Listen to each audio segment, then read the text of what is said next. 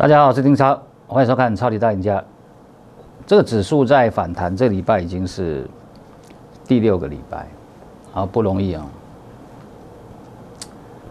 你看啊，你看这里啊，不六个礼拜，你看起来好像觉得没什么，但是很不容易，真的不容易啊。因为这边跌到一万六千一百多点的时候啊，哇，大家是看跌破颈线会崩盘的啊，直接很多市场都的分析师都看这里的。啊跌的时候就看这里，啊，这边跌的时候也看这里，啊，涨的时候就看十万点，啊，跌的时候就看这里，那涨起来要看要看十万点。哎呀啊，看图的恭维啦，涨说涨，跌说跌啦，对不对？啊，程度不好啦，你要会算，要会预估。哦，例如说一六一六二，我直接跟你讲，我直接这边就跟你讲。美国股市不会崩盘，你一定要看国际股市哦，它在打底，它在调整。美国股市不会崩盘，台北股市就保证不会崩盘，因为我们是跟屁虫，我们的国家小，我们不可能领导全世界，所以指数我们不可能领先，我们没有资格。了解不？那我们的市场是法人的市场。是外资在控盘的市场，那你外资它左可以左右股市啊，尤其是全指股，台积电、联电这种全指股，那他要买台积电，要买联电，他一定要美国股市涨，他才会买，这是规定的，否则不会有 MSCI 的。你看今天不是又公布 MSCI 权重啊？那那不重要啦，MSCI 权重公布啊，很多人会很很很紧张，很在乎。我跟你讲。那只是一个被动型基金，一个 benchmark，给你参考，你不一定要照做啊。何况生效，比如说，比如说啊，今天公布的这个啊权重，那在到月底它会生效啊，那一天成交量会大一些。可是从现在开始到月底，有两个月时间，让这些外资机构考虑到底要不要加码减码。因为他股票都知道啊，哪几档全指，哪几档成分股都知道，但是真正要开始操作不是这个时候，真正开始操作是从要生效生效日开始，就是十一月底开始，到下一季的二月份又会重新再公布一次，了解我意思吗？所以不是说被纳入投资纳入这个成分股就一定会涨，被踢出去就会跌，啊会呆挤。那股票要喝者啊，答案都让你知道了，你这怎么可能会这么简单呢？而且人家全值增加，人家也不一定要增加持股啊，持股持股减少又不一定要买，那就没有这种规定啊，要懂啊。这个指数是还看起来还不错啊，经过了四天，你看这礼拜一、礼拜二、礼五天，这几天它连住了嘛，啊，连住了嘛，那连住就是在。在涨的阶段里面，它会碰到了很多的阻碍，例如像季线的压制，季线当初扣底高值，对不对？所以季线不会改变方向，这里就知道了，这边比这边高。那经过整理以后，冲破关卡，季线扭转向上，因为扣底低值，对不对？我就讲过了嘛，季线是由中空，季线往下是代表中空，转为中多。而且转弯在这边转，转几天了？一天、两天、三天、四天、五天，这礼拜开始转。你看这箭头就知道。那上礼拜还没转，季线啊，这可是季线，季线啊，六十天平均线哈。那这月线，月线往这边转，月线这边就开始转了，啊，开始转。你看月线向下，就是空空空头，啊，这空头这边涨嘞。这个涨也是空头，我讲我看的是这条线，我不是看它涨跌，这是空头，这里也是空头，了解不？这边当然是空头啊，因为季线、月线往下走，那开始在转，你看开始转，转正的有没有？月线上上上上，对不对？你你这个这个整理的阶段里面，这是整理阶段里面，它还是上啊，趋势还是往上啊，往上啊，懂我意思吗？所以这个要短多加中多。那你操作上，你当然也可以参考双周线，因为它沿着双周线上去，啊，双周线是做的比较短一点，啊，看的时间比较短一点，但是月线就代表一个短线，季线代表一个中线，啊，那这条这个是这个是是什么多？哦，来看一下就好，短多中空，有看不？就清楚的嘛，啊，你安尼了解不？爱宏达电呢？哇，这不得了啊！哈，短多中多，啊，这个短多中多。有看无？有看清楚哈？啊，位数啊，啊，米数嘛起啊！你看，哦，你看短多中多，哦，这元宇宙大家拢做到的，你看短多中多，你看无？啊，这个啊，短多中空，啊，这个嘞，短空中空，你看无？啊，所以这个上崩烫。我我我家今天贴的我有讲过哈。我等一下分析万海、长隆、阳明。如果你要做航运股，你到底要买谁？啊？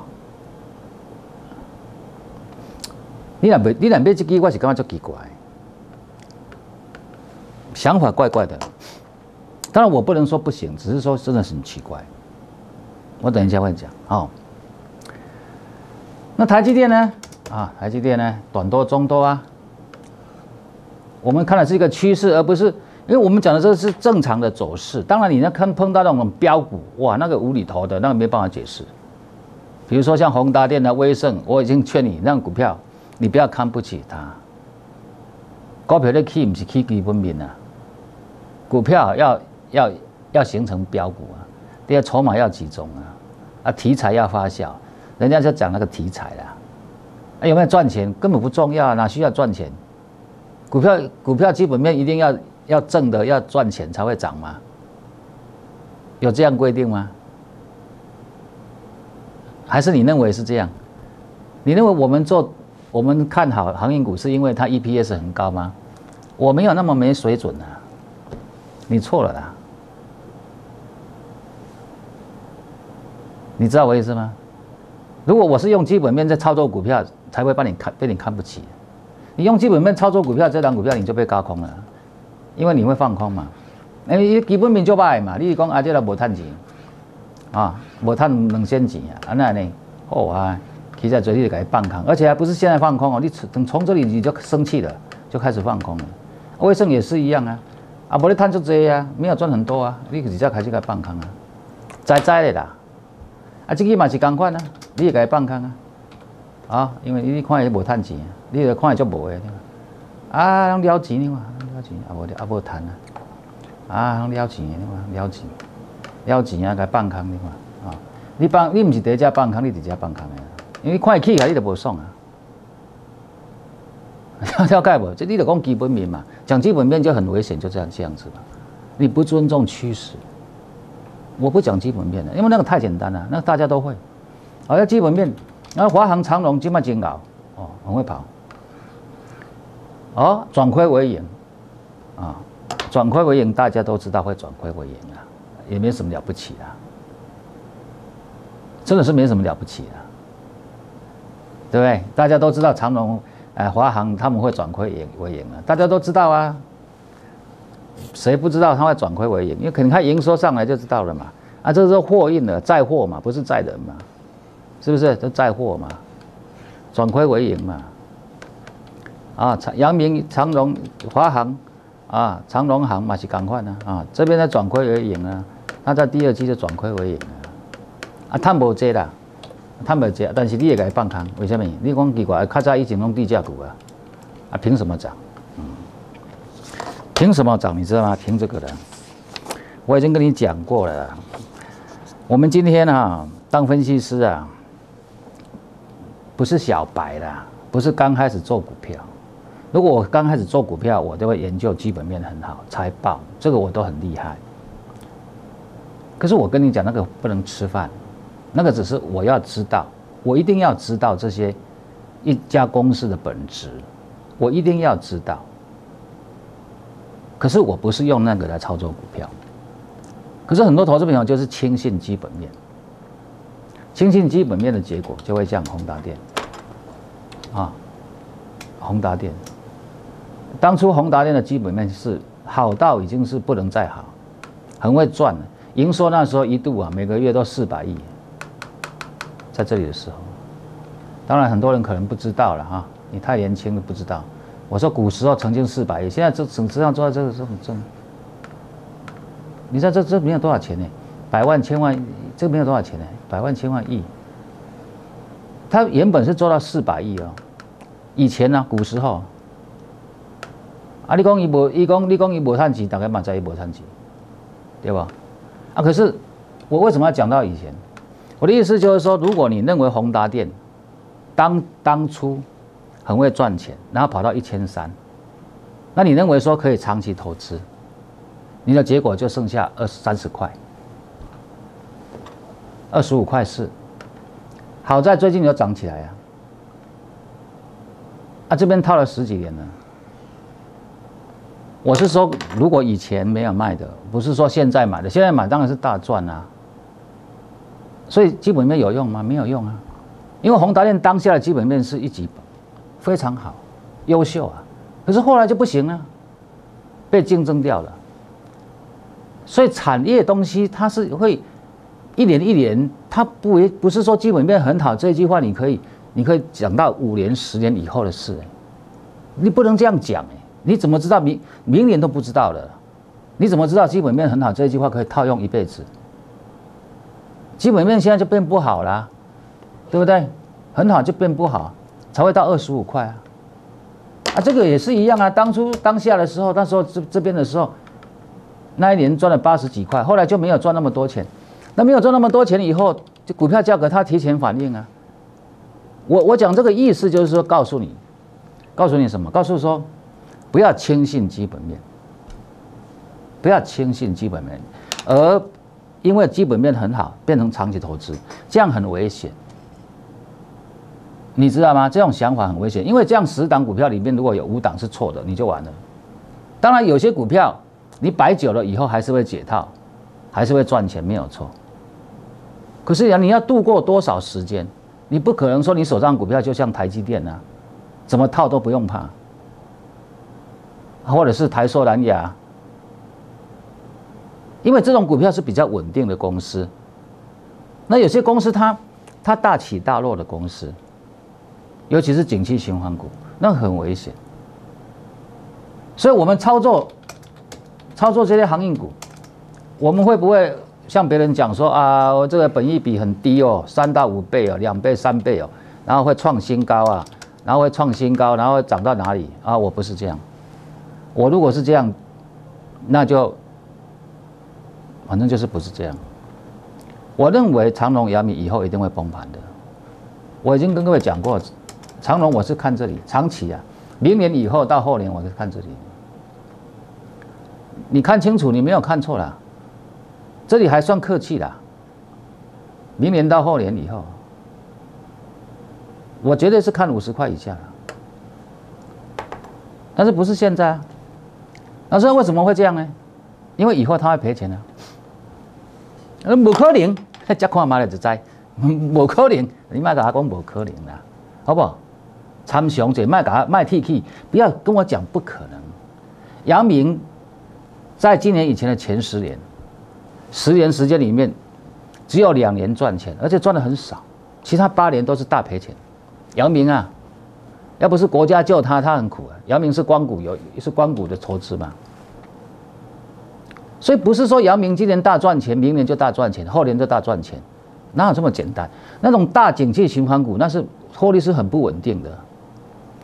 今年大赚，明年可能大赔哦，那跟台积电是不一样的，评价方式不一样。所以你看，IC 设计公司可以给他三十倍、五十倍的本益比，为什么行业股只能够给他两三倍本益比？因为他们他们就不能给他那么高啊，因为他们会赔钱啊，他们以后可能很有很大的机会会赔钱啊。所以你怎么可以长期投资呢？那不是很好笑吗？那我们先休息一下，等一下回来节目现场。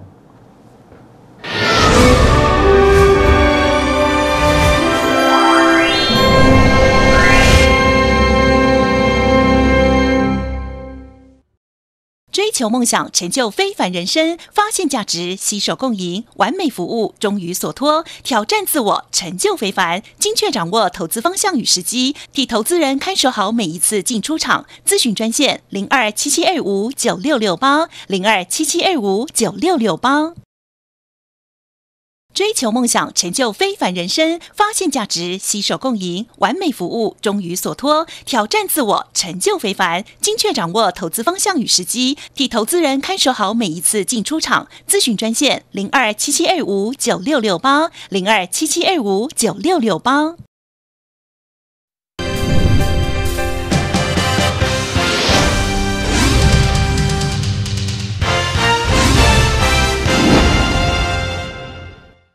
好的，欢迎回到节目现场。我跟各位讲哈，你今天看我的节目，已经很少人敢再讲航运股，包含昨天我们利用大跌的时候，我也讲得很清楚，我在天台观讲得很清楚，你千万不要误会，我们不是加码，我们没有在加码股票的。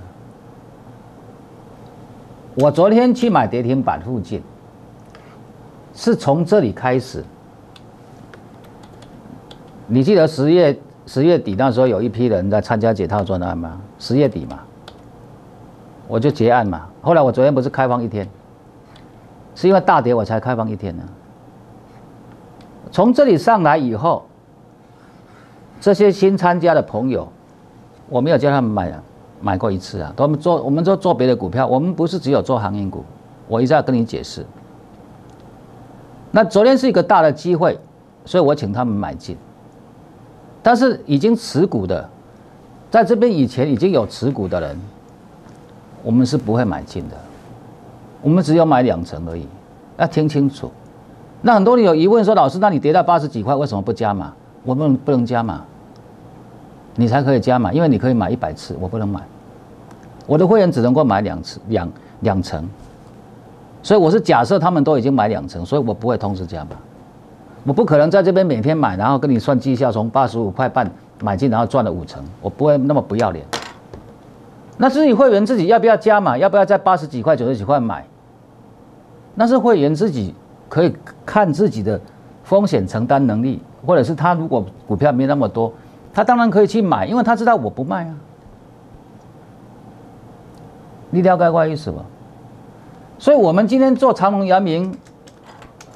或者是这些航运股，我已经跟你讲过，因为它月线不是往上，我刚刚不是跟你解释过了吗？你跌下来到这边我都没有关系啊，它扣底低值啊，这边比这边低，它维持向上啊，这好不容易一个短一个一个空头市场转为多头市场，我怎么会放弃呢？老师，那你说它是中空呢？中空啊，这里也是中空啊，这里也是中空啊，你不要忘了，这里也是中空啊。难道我这边就开始看坏吗？短多碰到中空啊，这边也是中空哦。那现在是中多了。那这种股票你要什么时候你扭转呢？你就是要扣底值的关系嘛，你要跑得快，让它扣底值往扣底值冲破扣底值嘛，不然的话你就要用时间来整理嘛，让时间来整理，让它慢慢的扣底低，用时间来化解嘛。所以这个灰金北上怎么可能到这边就停止呢？这跌了这么多，跌了六成。跌了六成，灰金北上就灰金这一点点了。那为什么不能买万海呢？为什么要买万海呢？我讲给你听嘛，人家财报都出来了嘛。万海这家公司的规模没有阳明长隆大，长隆比较大，这个大家都知道。那以赚钱，目前来讲，阳长隆前三季赚了一千五百亿了啊，因为它股本也大，所以它比较会赚。那阳明赚了一千，快到一千一百亿，万海就没有。可是这个不是很重重要的东西，重要的是你要看哦。我要给你看这个东西，一个获利会不会增加，你一定要看它的毛利跟营业利率。你知道毛利它跑到六十九，从以前古时候的七六十七二十四这样跑到六十九，对不对？所以它前三前三季的哈，前三季长隆就赚了三十块，对不对？哦，那阳明也不错。六十七，这边还没有写出来，但是它六十七，啊，阳明六十七，第三季六十七，啊，所以他赚了，他股本比较小一点点，所以他赚了，他才两百亿，长隆五百亿的，所以他赚了三十二块，好，可以解释吧？哈，那你凭什么？你你这个你这个前三前两季也没有赚人家那么多啊，而且你前三，而且你的我讲这个都有报告过啊，就是说第三季啊，也才赚十四块多啊，到目前为止才二十八块多，毛利是六十三而已呢，毛利最最低，长隆六十九，阳明六十七，万海六十三点点九。毛利最低，赚的钱最少，你凭什么股票最高？你凭什么股票最高嘛？所以它当然要弱啊，它当然会最弱嘛？为什么？因为这股票价格在调整嘛，已经是现在目前你怎么三百多块，你现在还是很贵啊？因为它便宜啊，因为它比它赚的钱比它多，股票比较低，它赚的钱比它多。股票比较低，不对，评价方式不对，因为他们是同一种股票。如果说今天你拿这个钢铁股来跟他比，或是拿台积电的跟他比，就不不公平嘛，因为无港行业不啊，哎，港行业都港换呢，哎，凭什么一这么多？所以市场里面会处理这档股票嘛，会造成这么难做的原因在这，因为在做做股票调整嘛，这绝对不可能买嘛，一点改不不会掉嘛。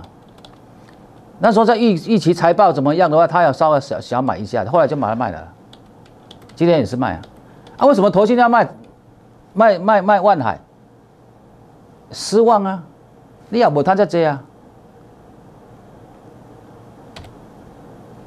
啊，投信会怎么做？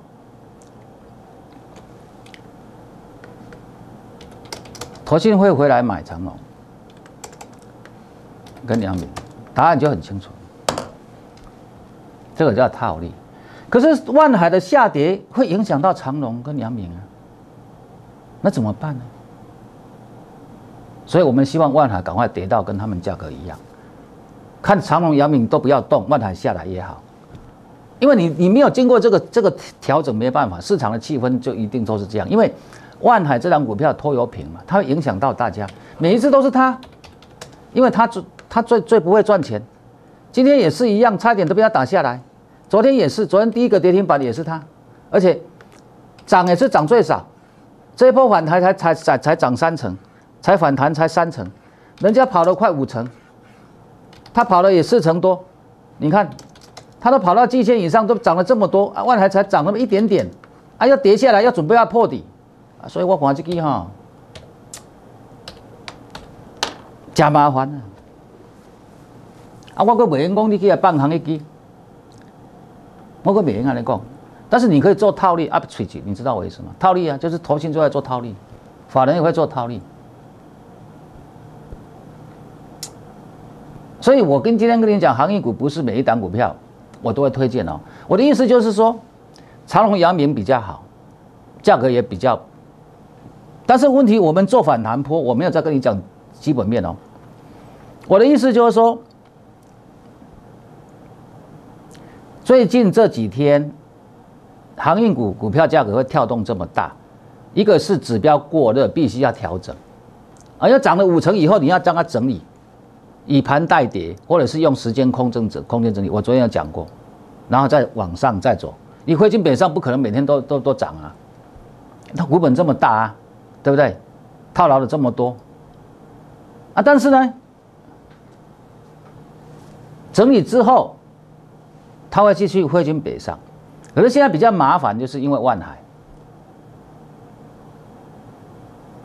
这张股票会扯后腿，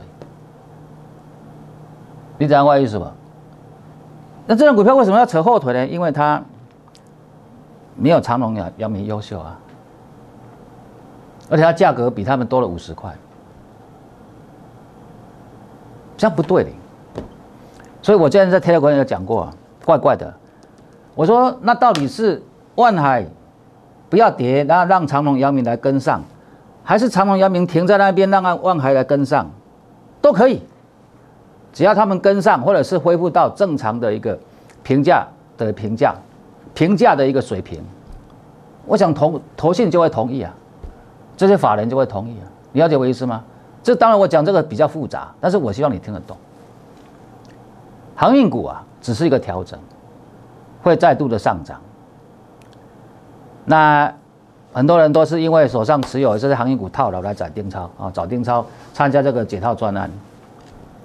我一定会帮你们忙的，我不可能像其他老师这样讲两天三天以后就要跑去到处讲东讲，我不要。我觉得这个股票这些股票真的蛮优秀的，可是它反弹波一定要先做出来。那至于要长期投资，我可不建议哦。啊，那我们今天的报告到这里，谢谢各位的收看，下周见。本投资公司与所推荐分期之客也有大证券无不当之财务利益关系，以往之绩效不保证未来获利。本节目资料仅供参考，投资人应独立判断、审慎评估并自负投资风险。